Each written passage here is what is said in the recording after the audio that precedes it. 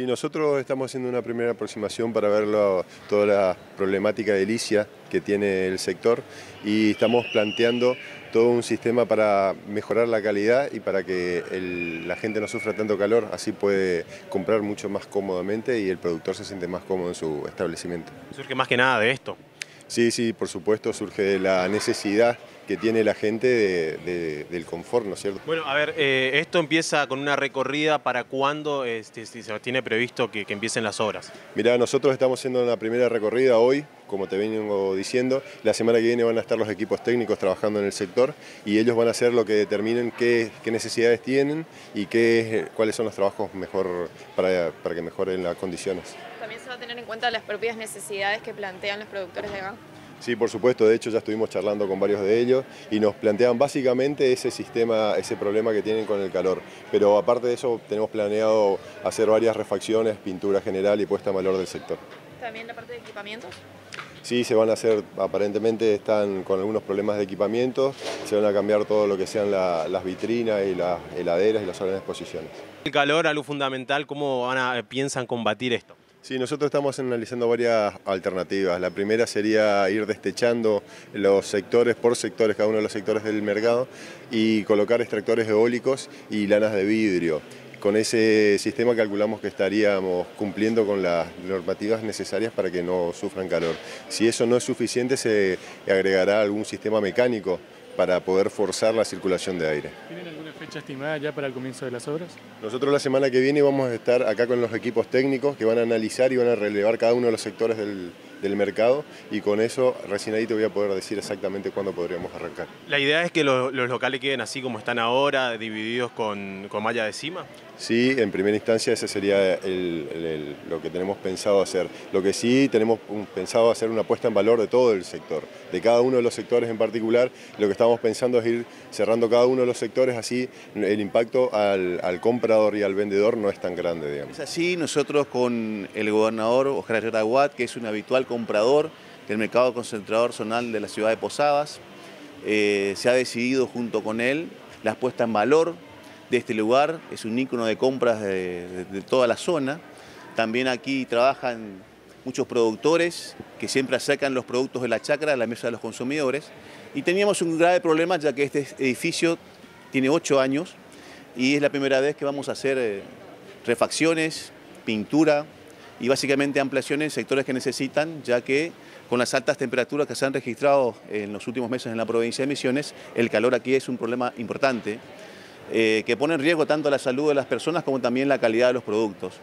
Por eso, eh, con mucho, una decisión muy acertada de parte del gobernador, ha decidido la autorización a través de la Dirección de Arquitectura General de la provincia, cuyo titular es Gunnar Krieger, de llevar adelante estas obras de vital importancia para que todos estén confortablemente vendiendo y también confortablemente comprando.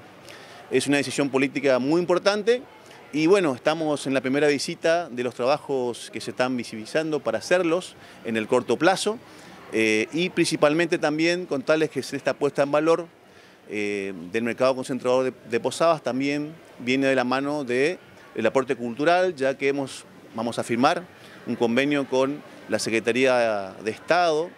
Recientemente ha asumido el nuevo secretario, José Losuap, también vamos a invitar a todos los fines de semana que abrimos aquí a los eh, músicos populares para que vengan a alegrarnos la mañana, tanto a productores como a consumidores. Y también una planificación en alta cocina, gourmet, para que eh, todos aprendan eh, a cocinar productos misioneros con chefs que vamos a traer aquí para que se puedan llevar adelante eh, distintas formas y técnicas de cocina con productos regionales y productos misioneros. También estas mejoras acá en el mercado concentrado sirven para promover el consumo de productos locales. Por supuesto que hay una consigna fundacional y fundamental en las políticas públicas misioneras, que es la producción de alimentos.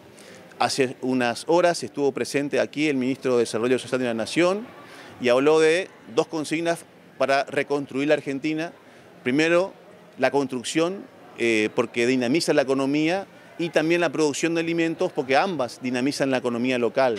Esto es un centro de compras eh, que tiene su objetivo, promocionar, promover, fortalecer la producción, pero la producción misionera de los pequeños productores que traen los productos de la chacra para que no pueda faltar en las mesas de las familias misioneras. Bueno, hablaron de combatir el calor. ¿Cómo se piensa hacer esto? No, es una pregunta que lo tiene que hacer el arquitecto. Yo hasta ahora soy contador y licenciado, pero el arquitecto ya me comentó las formas eh, que se tiene para combatir el calor. Eh, es una pregunta que me gustaría que lo haga él, porque él es el especialista en eso y él es el que va a idear junto con el equipo técnico eh, todas las tareas necesarias para combatir el flagelo que tiene en, en el verano nuestro mercado concentrador, pero básicamente, insisto, la decisión importante del gobernador de llevar adelante esta obra tan necesaria para que todos los días, desde el martes hasta los sábados, tanto consumidores como productores estén cómodamente aquí en este lugar, que aparte de un lugar de compra, también va a ser un lugar donde vamos a rescatar la cultura misionera con la música, con el arte, con la artesanía y también con programas televisivos que eh, van a acompañar esta puesta en valor del mercado concentrador zonal de Posadas, que se va a replicar en el corto plazo también en la localidad de Oberá, donde se inauguró un mercado concentrador con similares características a este. También estamos hablando con el mercado zonal de Puerto Rico. Tenemos una reunión el 31 de enero con los intendentes del departamento, donde también vamos a poner en valor ese mercado concentrador y seguramente en lo que va del año vamos a inaugurar el mercado concentrador zonal de la ciudad del Dorado. También muy importante para los productores misioneros. Bueno, ya que hablamos del gobernador entonces, eh, el gobernador dijo que iba a pedir que esta tarjeta que se vinieron a entregar hoy a alimentar se puedan gastar también en las ferias francas y en los mercados concentradores que tan importantes para el productor. Sí, por supuesto que estamos hablando de ese tema. Básicamente nosotros colaboramos todos los sábados con el programa Paz Alimentario. El IFAI, a través del mercado concentrador de Posadas, eh, ofrece productos subsidiados, a precios subsidiados eh, y también se está, estudiando la eh, posibilidad de que allí se acepten tarjetas sociales, como también se está estudiando la posibilidad de que aquí en este lugar se acepten tarjetas sociales, principalmente en el sector hortícola.